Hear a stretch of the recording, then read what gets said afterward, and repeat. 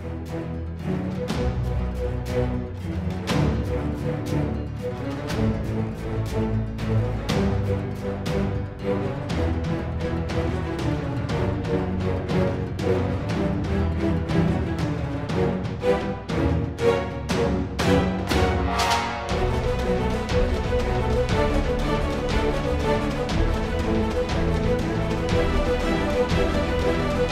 right back.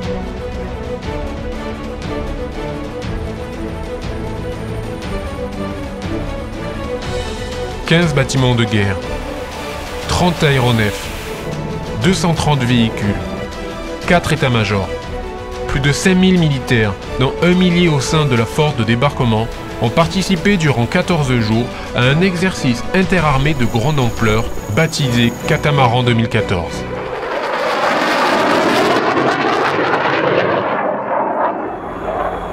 Catamaran 2014 est un entraînement opérationnel de la Marine nationale et de l'armée de terre axé sur le concept de force maritime expéditionnaire. Une force maritime expéditionnaire, c'est une force maritime qui se déploie en toute autonomie sur tous les océans, de manière souveraine et qui est capable de projeter de la force et de la puissance. La France a cette euh, capacité, cette autonomie que lui confère d'une part ses forces armées, sa marine et son armée de terre, et d'autre part le principe de la liberté des mers. Le tonnerre apparaît. L'exercice est déroulé du 13 au 26 octobre 2014 en Méditerranée occidentale. Le scénario repose sur l'intervention d'une force de l'OTAN au secours d'une nation alliée menacée. La mission est de déployer une force maritime expéditionnaire en territoire hostile. Des exercices amphibies euh, sont régulièrement organisés par la France, mais également par d'autres pays. Cette nécessité d'organiser euh, périodiquement et cycliquement des, opérations amphibies, elle tient à la complexité de ces opérations-là. Et là encore, dès qu'on arrête de faire des, exercices de cette nature-là, on oublie, on perd le savoir-faire, et donc il faut l'entretenir. et puis par ailleurs, la deuxième nécessité, c'est bon, pour que la, France ait un outil crédible sur le plan euh, international, qu'elle puisse peser, grâce notamment à, ses armées, euh, il faut qu'elle dispose d'un outil efficace et qui soit un petit peu dissuasif. Or, un outil qui ne sert pas, on ne sait pas s'il marche ou s'il marche bien. Et en l'occurrence, là, on démontre à tout le monde que l'on sait faire ce genre de choses et donc on a une réelle capacité dissuasive.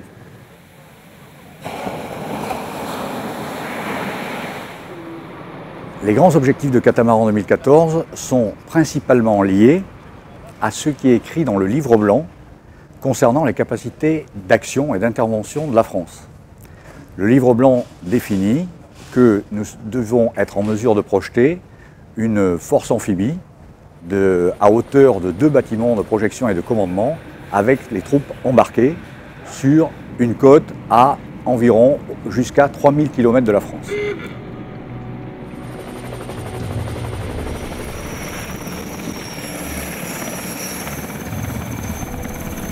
La force maritime expéditionnaire participant à cet entraînement est constituée de trois groupes, chacun commandé par un état-major.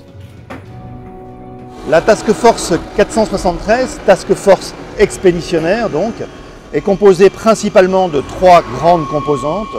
Le groupe aéronaval qui apporte la puissance, c'est-à-dire principalement les aéronefs. Le groupe amphibie qui va projeter la force et qui est armé simultanément par la marine et par l'armée de terre. Et puis un troisième groupe qui est aussi important, qui précède les deux autres, qui est le groupe, qui est le groupe de guerre des mines. La composante terrestre constituant cette force de débarquement est principalement armée par la 9e brigade d'infanterie de marine. Alors, la force de débarquement est constituée autour de quatre éléments. Le premier, l'élément de commandement, qui comprend l'état-major, les éléments de transmission qui sont, qui sont en soutien, et des éléments de renseignement le deuxième élément, qui est là beaucoup plus important, est le groupement tactique interarmes, qui est composé en fait d'un ensemble de moyens, d'infanterie, de blindés, d'artillerie, de génie. Le troisième élément est euh, le groupement aéromobile de l'aviation légère de l'armée de terre. Et enfin, le dernier élément, c'est l'élément de logistique, le sous-groupement logistique. On bloque tout de suite la circulation. Les véhicules s'imbriquent direct dans la, dans la circulation. L'exercice Catamaran 2014 est divisé en deux grandes phases. La première consiste en la montée en puissance de la force et la préparation du débarquement. Embarquement du matériel, organisation de l'opération par les états-majors, entraînement des troupes embarquées, maintien des compétences opérationnelles, répétition des différentes phases tactiques. La deuxième phase est la période durant laquelle le scénario est exécuté.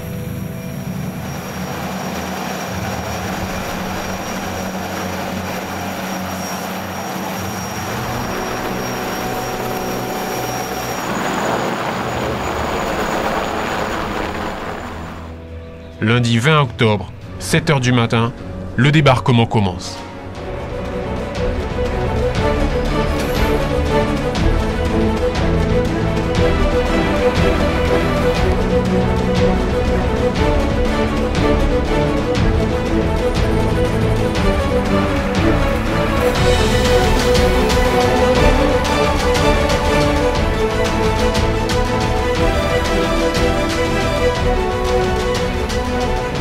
De 230 véhicules et 1000 hommes de l'armée de terre débarquent sur la plage de Saint-Égulphe. Plus de 60 rotations d'engins amphibies sont nécessaires pour débarquer l'intégralité du groupement tactique embarqué. Le groupement aéromobile et sa quinzaine d'hélicoptères réalisent dans le même temps un assaut en profondeur.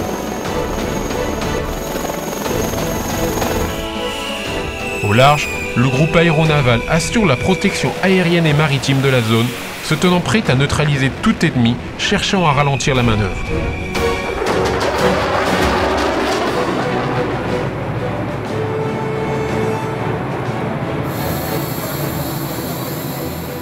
Cet entraînement, commun à la Marine nationale et à l'armée de terre, a permis de développer encore un peu plus l'interopérabilité entre les différentes armées. Les opérations amphibies sont effectivement conduites en France euh, conjointement entre la marine et l'armée de terre. En fait, on se rend compte très naturellement qu'il s'agit d'avoir une continuité entre la mer et la terre. C'est pour ça que nous avons lié en France et les deux armées. On voit qu'il y a une sorte de mécanique qui est réglée, qui est précise, hein, qui est euh, un peu minutée comme du papier à la musique. Et tout ça, ça nécessite un travail conjoint, euh, une sorte de mécanisation, de répétition hein, qu'il faut euh, affiner euh, pour qu'elle soit euh, réaliste et surtout efficace.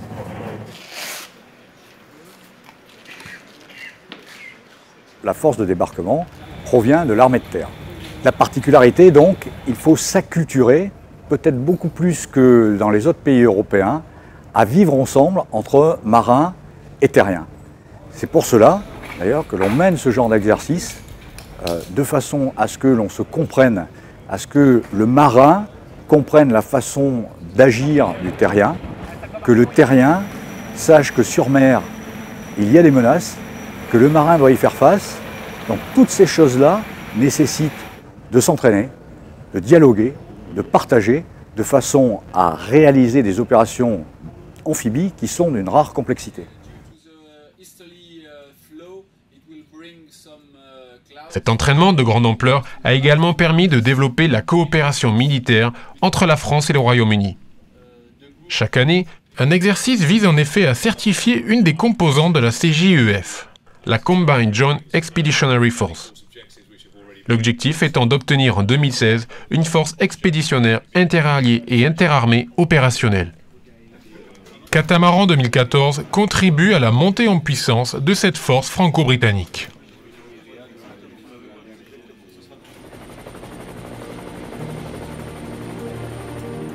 Après une quinzaine de jours d'entraînement intensif, la troisième édition de l'exercice catamaran se termine. Au total, cet exercice est pleinement satisfaisant. Les deux armées ont travaillé euh, la main dans la main. Nous avions de nombreux objectifs pour euh, euh, cet exercice qui, pour l'essentiel, ont été atteints. Tout ceci a très bien fonctionné. et l'un des éléments satisfaisants, c'est que notre doctrine, c'est-à-dire que notre façon de faire, est tout à fait adaptée à ce, à ce type de situation.